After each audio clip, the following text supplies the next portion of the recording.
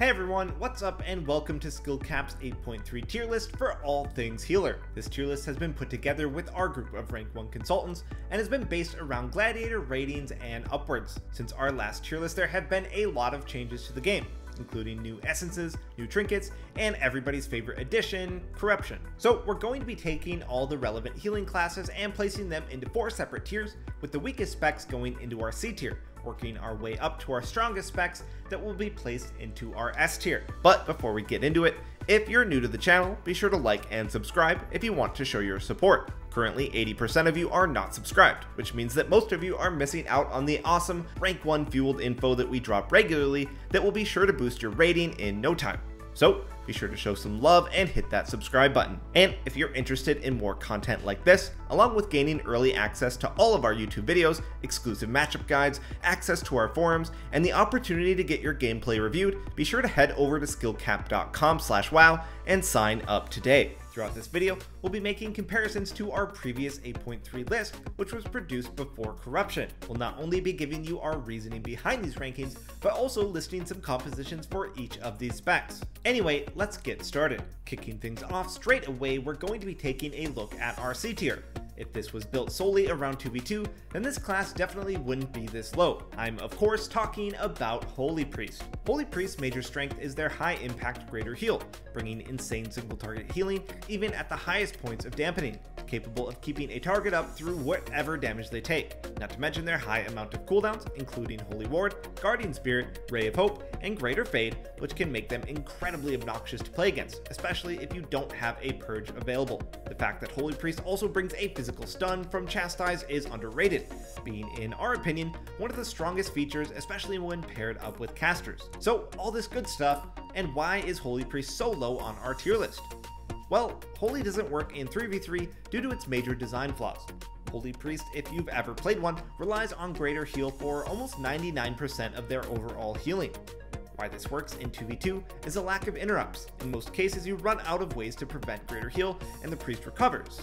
Well, in 3v3, you have potentially double the amount of ways to stop greater heal and double the damage.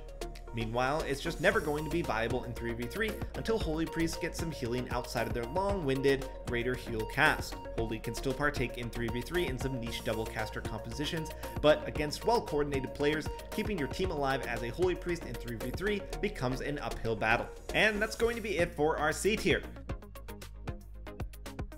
Jumping up to the B tier now, we've got Resto Druids. Resto was previously S tier in our last tier list, so what happened?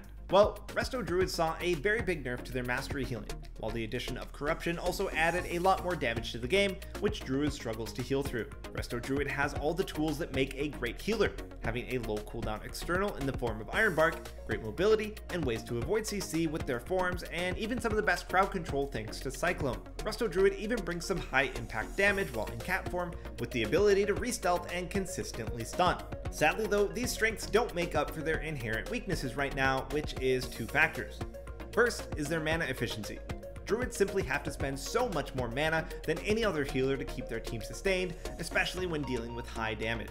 Their healing can also be very lackluster if you don't have any charges of Swiftmend or are unable to get a Soul of the Forest regrowth off, then your teammates can often just die through your heals.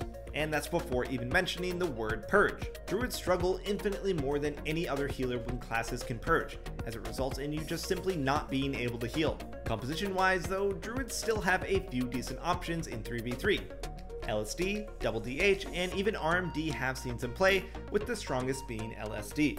Alright, that's going to be it for our first two tiers. Moving up into our penultimate tier, which is our A tier, inside of which we're going to be adding our first healer, Restoration Shaman, moving up one tier from our previous list. Resto Shamans have gained some strength in the meta due to being one of the best self-sufficient healers. With the ability to use Pack Spirit combined with Earth Shield and the instant healing coming from Riptide and their totems, this means that they can pretty much survive by themselves without casting. The ability to kite and avoid slows, while in Ghost Wolf also makes them very mobile and able to not only kite, but heal passively while doing so, resulting in Resto Shamans becoming very strong when up against melee cleaves. This isn't their only forte though. Resto Shamans also do great into casters, having the most disruption out of any healer thanks to grounding and being the only healer with an interrupt. But despite how good they are at surviving themselves, shamans can struggle in compositions where they're required to heal consistently. Lacking any real form of instant healing, they rely heavily on Vitality Conduit, Earthen Wall Totem, and Spirit Link to recover in those sticky situations. Also, when compared to most other healers on this list, Resto Shamans don't bring too much offensively. They offer no damage, no real CC if the enemy team has a D-Curse, with their only form of aggression being their offensive Purge. Because of this, Shamans excel in compositions like Windwalker Demon Hunter, with two very hard to kill melee, whilst also being decent healers for Shadow Play, adding some extra cooldowns to rotate through.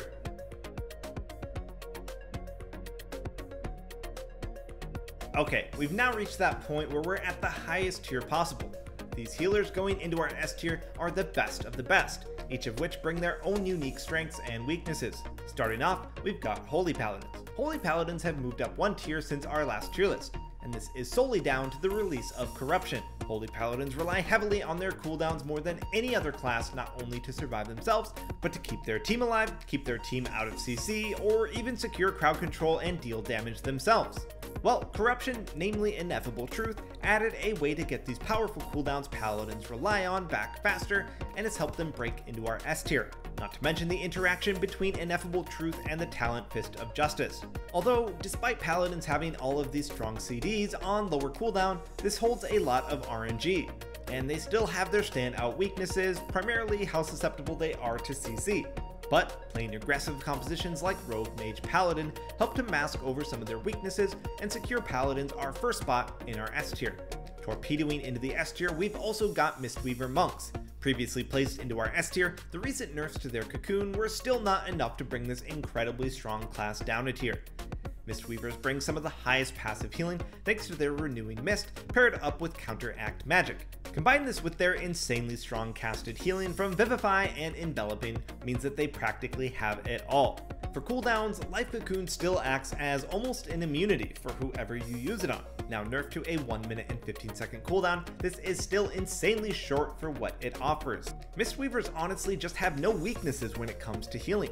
They do fantastic into dot cleaves thanks to tools like Vision Major, and they do great into setup compositions due to the low cooldown on Cocoon, and they do great into cleaves due to their mobility and throughput. The only real weakness that a Mistweaver suffers from is how susceptible they are to dying inside of stuns, combined with having no real way outside of their mobility to counter CC.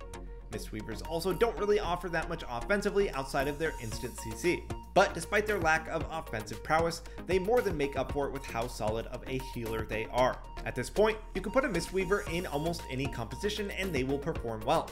But their best is currently when paired up with the two best casters right now, Fire Mage and Destro Warlock. And finally, to round it out with our last addition to this tier list, we have Disc Priests. Discipline Priests are jumping up previously from our A tier up to our highest tier, and that's down to two things corruption, and essences.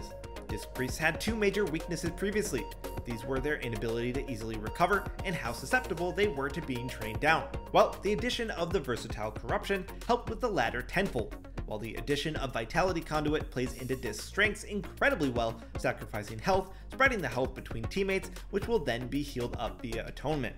Discipline's biggest strength has always been their offensive nature and the damage that they can bring to any composition with the addition of Dark Archangel and trinkets like the Forbidden Obsidian Claw, only further adding to that strength. This means that they're the perfect match for any setup composition like RMP or Jungle, which just happens to be two of the strongest comps in the meta right now. This gives them their deserved spot at the peak of our tier list, which means that our final tier list ends up looking like this. Alright, that's going to be it for our up-to-date tier list for healers in patch 8.3. Remember, this list was produced with our rank 1 consultants targeted for gladiator and upwards rating. Be sure to stay on the lookout for our caster and melee tier lists as well. We here at SkillCapped put a ton of work into keeping you updated on how to play and play around every class in WoW Arena. The best way for you to show your support and love for the channel, as well as remaining up to date on any shifts in the meta as they happen, is to like, subscribe, and share the video. Remember, the content that you find here on YouTube is just a taste of the hyper improvement platform that you'll find on our website. If you're serious about improving your arena rating, be sure to check it out. Thanks for watching, and we'll see you next time.